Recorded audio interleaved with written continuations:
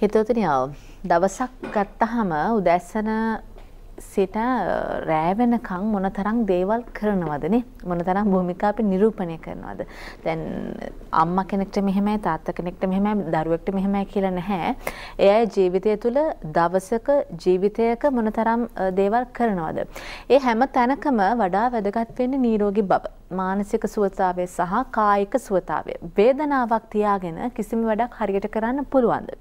විශේෂයෙන් මේ වේදනාව කොන්දේ ඇති වුණොත් මේ රෝගී තත්ත්වයක් ඇති වුණොත් මොකද කරන්න පුළුවන්? අපි දන්නවා වැඩි වෙලාවක් හිටගෙනවත් වැඩක් කරන්න සිද්ධ වෙන්නේ නැහැ. වාඩි වෙන ඉරියව්වේ පවා බලපෑමක් ඇති වෙන්න පුළුවන් මේ වෙලාවට. ඉතින් කොඳුයට පෙර සම්බන්ධව තියෙන්න පුළුවන් රෝගී තත්ත්ව මොනවද? එහෙමනම් ඒකට තියෙන ප්‍රතිකර්ම මොනවද? ශල්‍ය කර්මයකට එහෙම යන්න සිද්ධ වෙනවද කියන කාරණාව ලංකා හොස්පිටල්ස් එක එකතු වෙලා අපි කතා බහ කරලා දැනගමු. අද ඒ කතා බහට අපේ මැදිරියට එන්න කියලා අපි ආරාධනා කළා. ප්‍රසන්න ගුණසේන ස්නායු ශල්‍ය විශේෂඥ වෛද්‍යතුමාට. වෛද්‍යතුමා අයබන් සුබ දැසනක්. සුබ දැසනක්. කොඳුයට පෙළ සම්බන්ධව ඇතිවෙන රෝගී තත්ත්ව මොනවද? අපි එහෙම විශේෂයෙන් මොනවද කියලා දන්නේ අපි දන්නවා වේදනාවක් ආවොත් රිදෙනවා. ඒ තත්ත්වය දන්නවා. මේ රෝගී තත්ත්ව මොනවද එහෙම වෙන්න? කොඳු ඇටපෙළ ආශ්‍රිතව තියෙන රෝගයන් ගැන කතා කරනකොට ප්‍රධාන වශයෙන්ම කොඳුයට ආශ්‍රිතව ඇතිවෙන ගෙඩි ශරීරයේ වෙනත් ඕන තැනකදී වගේ ගෙඩි වර්ග ඇති වෙන්න පුළුවන් කොඳු ඇටපෙළ ආශ්‍රිතව. ඒකම කොඳු ඇටපෙළ ආශ්‍රිතව විස බීජ වර්ග ඇති වෙන්න පුළුවන්. ඒ විස බීජ ආසාදන නිසා ඇතිවන රෝගී තත්ත්වයන්. මේ කාරණා දෙකට අමතරව සාමාන්‍යයෙන් ඔබ දන්නවා කොඳුයට පෙළේ මේ අස්ති සහ ඒ අතර තියෙනවා ඩිස්ක් කියලා අපි කියන්නේ කොඳුයට අතර තියෙන මේ මෘදු ජෙලි එකක් වගේ කොටසක්. මෙන්න මේ කොටස් අධික ලෙස ක්‍රියාත්මක වීම නිසා ගෙවීමටපත් වෙනවා. ඒ ගෙවීමෙන් ඒවායේ ඇතිවෙන හානිදා හානිවීම එහෙම නැත්නම් ඉරිතැලීම් එහෙම නැත්නම් මේ ඩිස්ක් එක පුපුරලා ඒවා අස්ථානගත වීම නිසා ඇති වෙන රෝග තත්ත්වයන් තියෙනවා. සිරුර තරබාරු අයට දෙහෙම වෙන්නේ?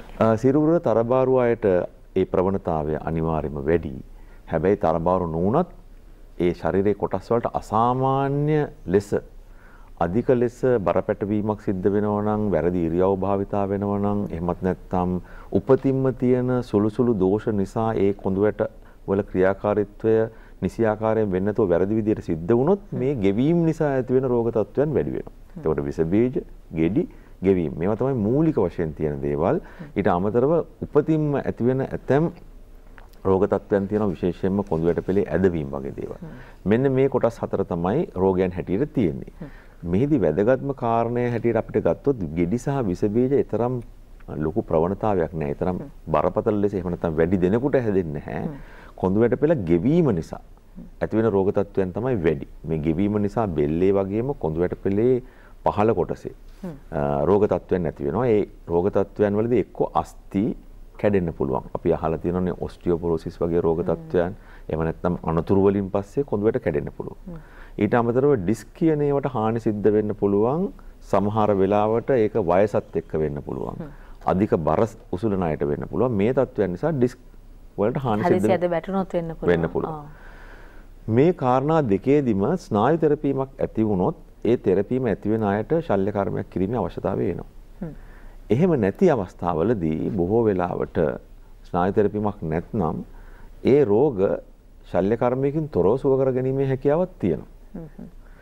ඔබ ප්‍රතිශතයක් හැටියට මගෙන් ඇහුවොත් කොච්චරද කියලා සාමාන්‍යයෙන් කොඳුයට පෙළේ මේ ගෙවීම නිසා ඇතිවන රෝග තත්ත්වයන්ට ප්‍රතිකාර කිරීමේදී ශල්‍ය කර්මයක් අවශ්‍ය වෙන්නේ 10ක් 15ක් අයට පමණයි. ඉතුරු 80ක් 90ක්ම ඉබේ හොඳ වෙන අය. හැබැයි මුලින්ම බය වෙනවා මේක ඔපරේට් කරන්න වෙයි ඔපරේට් කරන්න බයයි එක එක මතවලින් ඉන්නවා. අන්න ඒක නිසාම තමයි මම හිතන්නේ මේ ජනතාව මේ වගේ වැඩසටහන් වලින් දැනුවත් වීම අවශ්‍ය වෙන්නේ.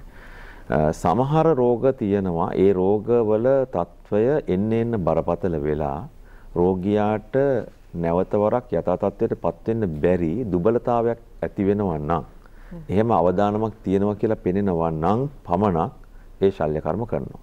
එසේ නැත්නම් ශරීරය කියලා කියන්නේ මේ වාහනයක් වගේ එකක් නෙවෙයි. ශරීරය කියලා කියන්නේ තමන්ගේ කැඩෙන බිඳෙන සෛල පටක නැවත වරක් යථා තත්ත්වයට පත් කරගැනීමේ හැකියාවක් ඇති සජීවී වස්තුවක්.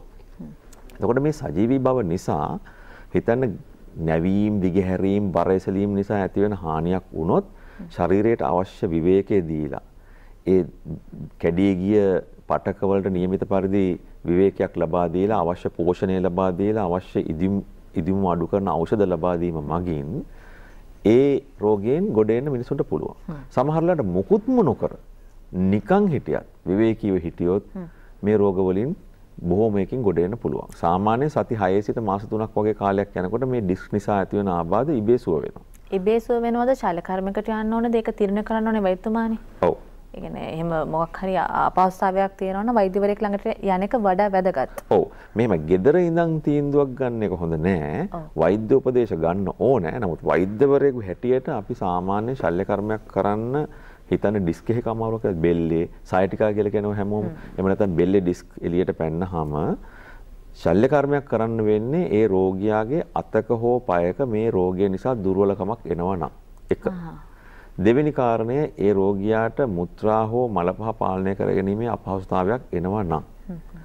තුන්වෙනි කාරණය වෙන්නේ මේ ඇතිවෙන වේදනාව වෙනත් කිසිම ඖෂධයකට අහන්න නැතුව අධික ලෙස රෝගියා පීඩාවට පත් වෙනවා නම්.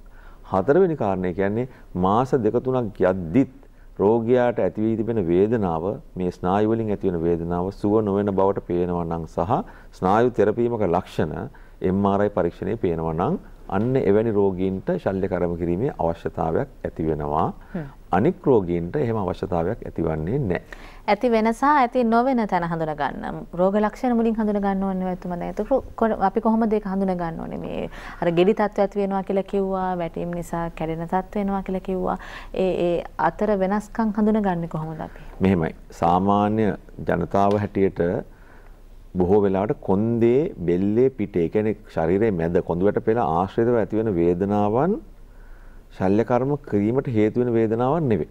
මම මේක බොහොම පැහැදිලිව කියන්නේ ඒකයි. ස්නායු තෙරපීමක රෝග ලක්ෂණ එන්නේ ඒ ස්නායුව සපයන ශරීර කොටස. ඒ කියන්නේ බෙල්ලේ ස්නායු තදවීමක් වුණොත් අත දිගේ යන වේදනාවක්. ඇඟිලි වල එන වේදනාවක්. මේ වගේ ස්නායුව යන දිශාව අනුව තමයි වේදනාව වෙන්නේ. කොන්දේ ස්නායු තෙරපීමක් આવොත් කකුල දිගේ යන වේදනාවක්. එහෙමත් නැත්නම් කකුලේ ඇති වෙන හිරිවැටීමක්. එහෙම නැත්නම් පණ නැතිවීමක් තමයි මේක රෝග ලක්ෂණය වෙන්නේ. නමුත් බොහෝ වෙලා මේ වෙතම නිතර නිතර වෙනවද නැත්නම් ඉඳලා හිටලා වෙන දෙයක් පණ නැතිවීමක් වගේ වේදනාවක් හිරිවැටීමක්? ඉඳලා හිටලා වෙන්න අමාරුයි. සාමාන්‍යයෙන් ස්නායු තෙරපීමක් ආවොත් මේ දුර්වල වීම හෝ හිරිය හෝ වේදනාව ටික ටික ටික ටික ටික ටික වුණත් එක දිගටම පැවතීම අවශ්‍යයි. සමහර වෙලාවට ඉරියව් එක්ක මේකේ තදබල ස්වභාවය මාරු වෙන්න පුළුවන්. නමුත් බොහෝ වෙලාවට මේක ක්‍රමානුකූලව වර්ධනයක් හෝ ක්‍රමානුකූලව එක මට්ටමක පැවතීමක් තමයි දකින්නේ. එනවා යනවා වේදනාවක් නම් නැවත වරක් අපි හොයන්න ඕන එහෙනම් මේ ශරීරය හෙල වෙනකොටද මේක එන්නේ හිටගත්තාම දෙන්නේ. ඒක අනුව තීන්දුව කරන්න ඕන ස්නායු තෙරපීමට හේතුවක්. එහෙම නැත්නම් බොහෝ වෙලාවට මේක දිගටම එනවා බොහෝ ස්නායු ආබාධ ස්නායු තෙරපීම් හිටගෙන ඉඳීමේදී හෝ ඇවිදීමේදී වැඩි වෙනවා. ඉඳගෙන ඉන්නකොට වැඩි වෙන්න පුළුවන්. නමුත් නිදා ගැනීමේදී මේ බොහෝ අමාරු අඩු වෙනවා ස්නායු ආබාධ. ඒකේදී. ඔව්. හිතතුනි කොඳු ඇටපෙළ සම්බන්ධව ඇතිවෙන රෝගී තත්ත්ව සහ එයට කළ හැකි ප්‍රතිකර්ම ගැන අපි කතා කරමින් ඉන්නේ. ඔයතුමා දැන් එහෙම කතා කරද්දී මෙහෙම ආබාධයක් ඇති වෙන්න රෝගී තත්ත්වයක් ඇති වෙන්න වයස් සීමාවක් නැහැනේ. එතකොට ඕනෑම වයස් සීමාවක ඕනම ජීවිතේ ඕනම තැනක වෙන්න පුළුවන් දෙයක්. හදිස්සිය අනතුරක් වෙන්න පවා පුළුවන්.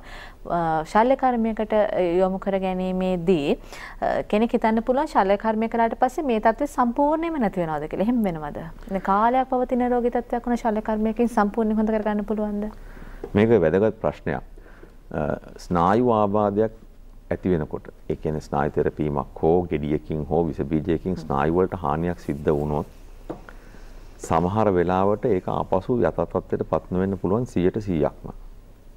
උදාහරණයකට ස්නායුව මැරුණොත් අපි හැමෝම දන්නවා සාමාන්‍ය ස්නායුවක් මැරුණහම ඒක නැවතත් ස්නායුව 100%ක් යථා තත්ත්වයට පත් වෙන්නේ නැහැ. නමුත් සමහර වෙලාවට අතපයවල දුර්වලතා ඇති වෙනවා ස්නායු මැරෙන්නේ නැහැ.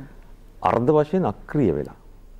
අන්න එහෙම අර්ධ වශයෙන් අක්‍රිය වෙලා තියෙන අවස්ථාවකදී ශල්‍ය කර්මයක් කරොත් 100%ක්ම වුණත් යථා තත්ත්වයටපත් වෙන්න පුළුවන්. නමුත් ඒ රෝගියාගේ ස්නායු මැරුණොත් ප්‍රතිශතයක් හැටියට 125ක් මැරුණොත් ඊට අදාළ වූ දුබලතාවයක් අනිවාර්යයෙන්ම ඉතුරු වෙනවා. මැරෙන මොන වගේ අවස්ථාවකද වෛද්‍යතුමා? මෙහෙමයි.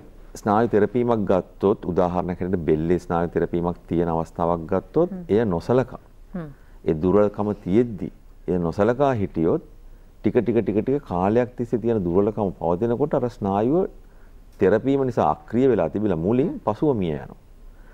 එතකොට ඔබට තේරෙන දේ දුර්වලකම විතරයි. නමුත් අර රෝගයේ තිබිච්ච කාල සීමාව අනුව තමයි ස්නායුව අක්‍රිය වෙනවද මැරෙනවද කියන එක තීන්දුව වෙන්නේ. මේ නිසා දෙන්න පුළුවන් අවවාදය තමයි දුර්වලකමක් එනවා නම් කල් නොයවා ඒකට අදාළ ප්‍රතිකාරය කරන්න ඕනේ. බොහෝ වෙලාවට ශල්‍ය කර්ම කරන්න සිද්ධ වෙනවා කියලා මම කිව්වේ අර දුර්වලකමක් තියෙනකොට ඔන්න ඔය හේතුව නිසා. ප්‍රමාද වුණොත් අපිට අවශ්‍ය ප්‍රතිඵලය ගන්න බැරි වෙන්න පුළුවන්. විස බීජ වලදීත් එහෙමයි. දැන් විස බීජයක් නිසා දුර්වලකමක් එනවා නම් ශල්‍ය කර්මය වගේම මේ විස බීජය මරන්න යම්කිසි ක්‍රියාත්මක වීමක් අවශ්‍යයි. විශේෂයෙන්ම ක්ෂය රෝගය වගේ විස බීජ කොඳු වැට පෙළ ආශ්‍රිතව ආවහම මේ රෝග තත්ත්වයන් එනවා. එතකොට ශල්‍ය කර්මය කිරීම කරන්න වෙන්නේ නැහැ. නිසි වෙලාවේදී ඖෂධ ලබා දුන්නා නම්. මේ නිසා රෝගයකට ප්‍රතිකාර කිරීම ප්‍රමාද නොවි හැකි ඉක්මනින් කරන්න ඕනේ. ඒත් එකම මඩ වෛතුමා කියන්න කාලය සීමිතයි මට කෙටියෙන් හරි කියන්න සමහර අය කියනවා මම අනේ ශල්‍ය කර්මයකට ගියා මම ඔපරේට් කළා ඒකට වැඩක් උන්නේ ඒක ඇක්කුම තාම තියෙනවා. එහෙම කියන අය ඉන්නවා. එහෙම වෙනවද?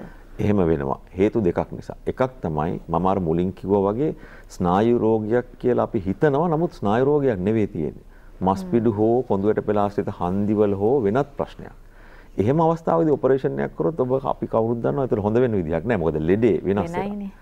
අනික් එක තමයි මම අර ඉස්සෙල්ලා කියපු හේතුව ඒ හේතුව තමයි ස්නායුව ඩැමේජ් වෙලා ඒ කියන්නේ විනාශ වෙලා මැරිලා නමුත් අපි මේ වේදනාව තියෙන නිසා ශල්‍ය කර්මය කරනවා. එතකොට වේදනාව හොඳ වෙන්න පුළුවන් ටිකක්. නමුත් දුර්වලතාවය, හිරිය, දුබලතාවය, අපහසුතාවයන් තවදුරටත් යන්න පුළුවන්. මේ නිසා මේක රෝගීන් දැන ගැනීම ඉතා වැදගත්. එතකොට වැදගත් දේ තියෙන්නේ ඔබ එකෙන් කනගාටු වෙන්න හොඳ නැහැ. මොකද මේ රෝගේ තව ටිකක් තිබ්බනම් ඔය අර්ධ දුබලතාවය පූර්ණ දුබලතාවයක් බවට පත් වෙන්න ඉඩ තිබුණා. ඒ තත්ත්වයෙන් නතර වුණේ මේ ශල්‍ය කර්මය කිරීම නිසා. නමුත් හිතන්න වේදනාව සුව වෙන්නේ නැත්නම් ස්නායු බුරුල් කළා නම් තියෙන්නේ ස්නායු වලට ශල්‍ය කර්මය කළා නම් තියෙන්නේ නිසි පරිදි ව්‍යායාම කළා හරියට පුනරුත්ථාපනය කරොත් මේ දුබලතාවය හෝ වේදනාව 99%ක්ම නැති කර ගැනීමේ හැකියාව තියෙනවා. ශල්‍ය කර්මයත් එක්ක එකට ව්‍යායාමත් යනවද?